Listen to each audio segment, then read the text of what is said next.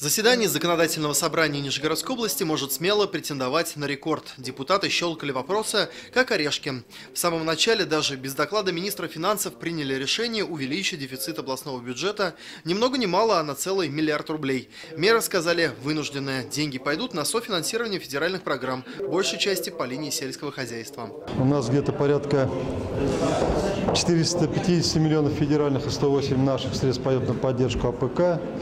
Э, Часть средств пойдет на волновое переселение граждан аварийного фонда. Часть средств пойдет на э, решение вопросов обеспечения в детских садах, на строительство перинатального центра, центра. Взяв вначале хороший темп, депутатский корпус притормозил на вопросе предоставления финансовой поддержки продавцам народных художественных промыслов.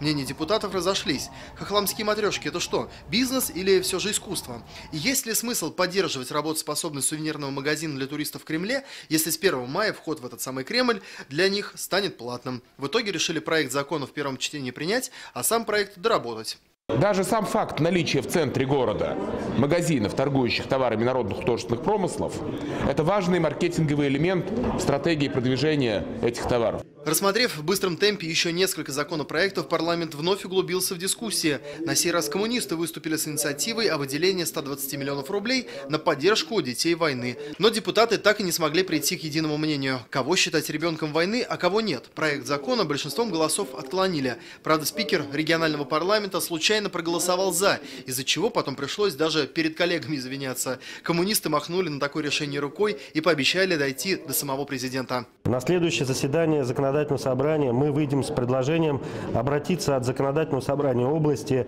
в Государственную Думу, к президенту Российской Федерации э, с требованием, предложением разработать в конце концов и принять нормативные акты на уровне Федерации, которые бы обеспечили детям войны достойную старость. Впрочем, не только депутаты-коммунисты решили обратиться за помощью к руководству страны.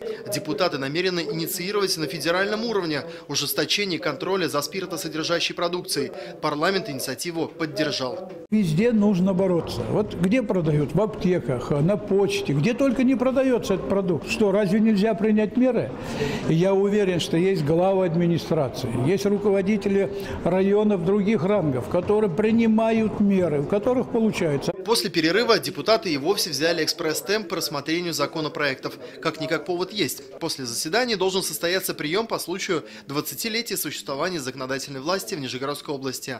Поздравить с праздником коллег приехал нижегородский сенатор Александр Вайнберг. Я считаю, что у нас одно из лучших законодателей, законодательных собраний и одни из лучших парламентариев Нижегородской области. Наверное, конечно, так будет утверждать каждый представитель в Совете Федерации, но я говорю искренне и есть чем гордиться.